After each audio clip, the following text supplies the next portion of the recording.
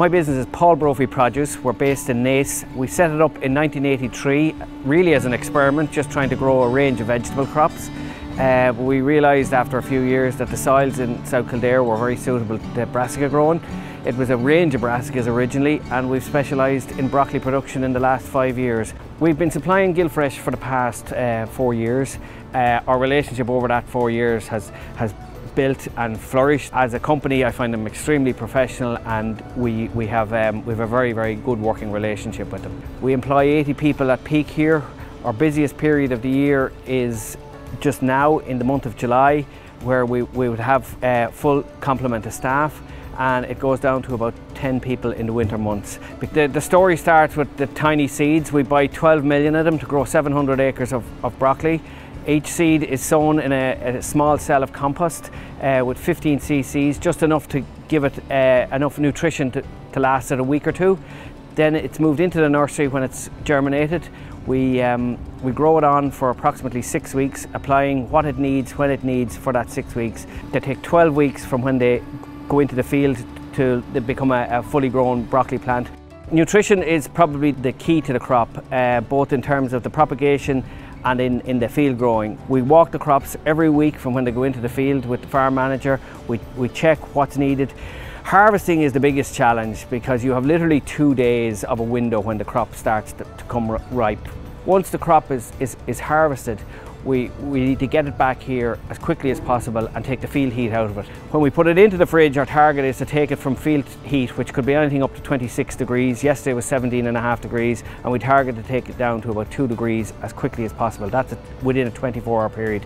We have monitors in all the fridges, all linked to a mobile phone texting system. If a fridge breaks down, I automatically get a text to say there's an issue so we can go in and fix that straight away.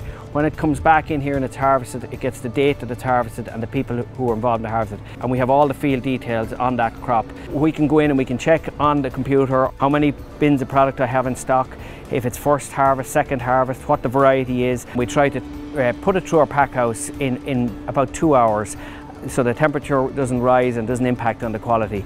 We have to work to very tight deadlines. We have 24 hours notice to get our orders ready. I've made mistakes over the years purchasing machines or growing crops that did not work for the betterment of the business. I tend to forgive people working for me that make mistakes that may cost the business money if the long term objective was to improve the business. If you are too cautious, you will never improve. These gambles are why we are the largest grower of the crop in the country.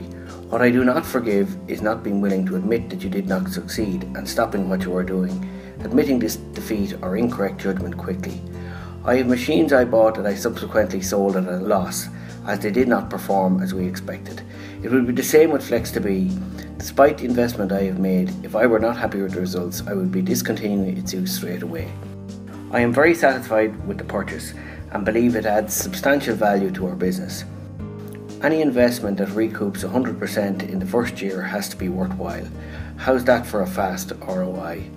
The production of broccoli works on very tight margins, and investments that improve the bottom line by adding value, increasing yield, or reducing waste, which is what Flex2B does for us, has to be worthwhile.